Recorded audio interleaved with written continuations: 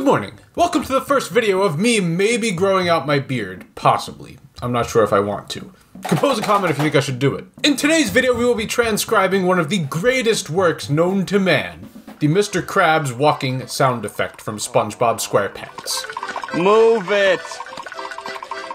Could you be any slower? So this sound effect that you're hearing uses the instrument temple blocks, which is basically just a set of pitched wood blocks. Just like that. So here we are in Final Cut Pro. We got the uh, walking sound effect added in. Yeah, this is like a temple block blast beat, basically, just a ram of like 30 second notes extremely fast. So clearly it repeats over and over. It's like blah blah blah blah blah blah blah blah blah like that. Pretty accurate, all right? So why don't we, let's see, let's chop it off right there. Let's slow this down to a nice percentage. And let's find where it repeats itself. I think it's that note right there. I think that's right. Oh, maybe one more note. No, okay, I think it's this one. So if we cut all this, so let's see how many notes we have in here. 1, 2, 3, 4, 5, 6, 7, 8, 9, 10, 11, 12, 13, 14, 15, 16, 17, 18, 19, 20. I think that's one note.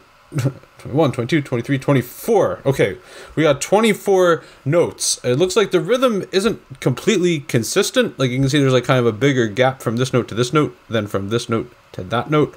But I think it just goes by so fast that you can't even tell that that's happening. So I'm just going to assume that it's all one rhythm, all 16th notes at a very fast tempo. Okay, now we just got to find out uh, what pitches are in this and also how many pitches. I have five temple blocks. I don't think there's that many pitches.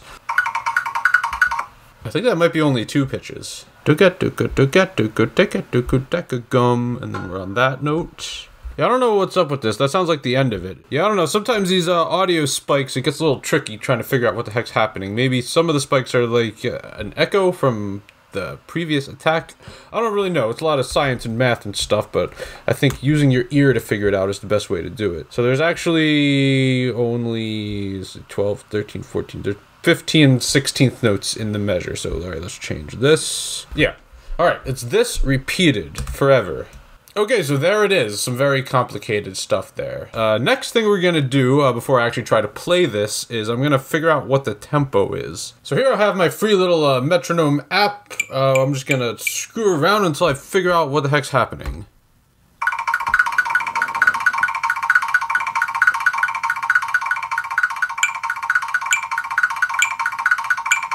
Okay, it's either 67 or 68. Oh, it's so close to being nice. So close. So this is 67.5-ish, something like that. Actually, wait.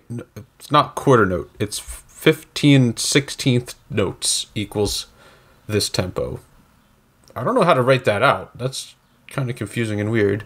4, 5, 6, 7, 8, 9, 10, 11, 12, 13, 14, 15. That looks really stupid and confusing. Uh, Alright, I'm just gonna do this. Okay, I think that's probably the best way to write that. Um, or I could do this number times 15, and that would be the 16th note. Okay, 16th note equals 1012.5. I think that's the best and greatest way to write that. It makes the most sense to look at. I don't think my metronome even goes that fast. Now, the fastest it does is 400, which is not even half as fast as it should go, unless I put the 8th note on. Now it's 800. Then we get the 16ths. Then that's too fast.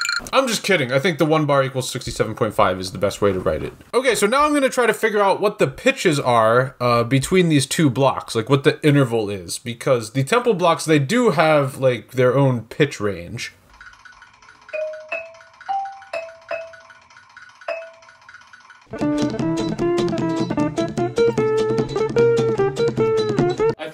Notes are an octave apart, which is a further distance than these temple blocks are.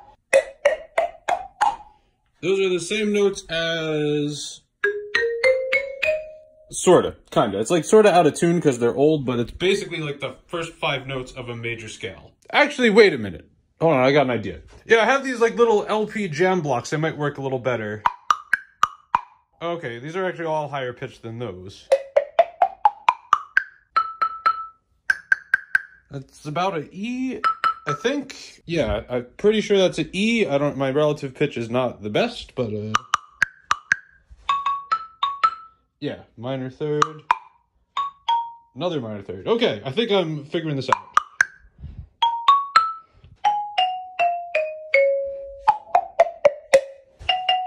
All right, these are like all kind of out of tune. Um, I think number four block is also an E. Close enough, I guess. Uh, so these are about an octave. This one to this one. Yay, we can do it as close as we possibly can in real life. I'm so excited. Look how excited I am.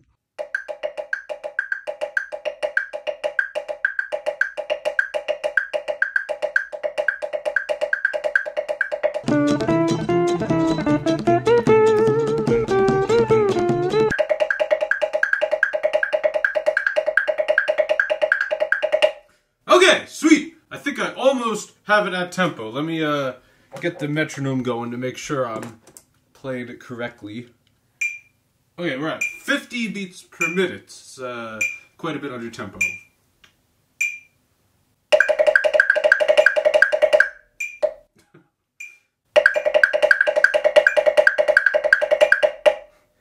This might be the hardest thing I've ever played in my life. I'm not sure yet.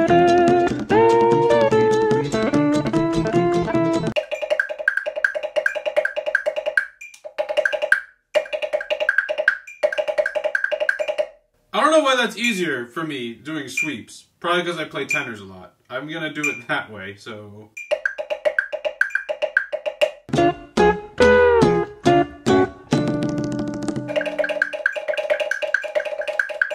Alright, it's close enough. I think I think I got it. And last thing we're gonna do is test some different implements. So we got the yarn mallets, we got the rubber mallets, we got the plastic mallets, and we got the good old drumsticks. Let's see which one sounds most like the original sound effect.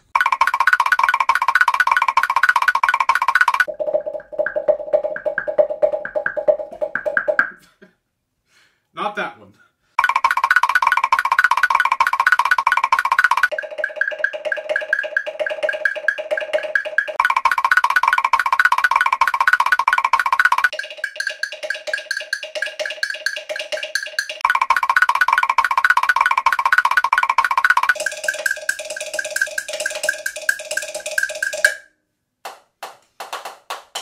Well, it seems like that last option was the closest to the original, the drumsticks. Now, it's not 100% perfect to what the sound effect is, but I do think it is definitely close enough that you can tell what you are trying to do. So here's the sheet music. I encourage all drummers to grab two wood blocks and learn how to play this, so then you can commence trolling every single person that walks by you, ever. Hopefully you enjoyed this video and found it somewhat educational. If you did, make sure that you click that subscribe button, ring that Liberty Bell, and click that like button.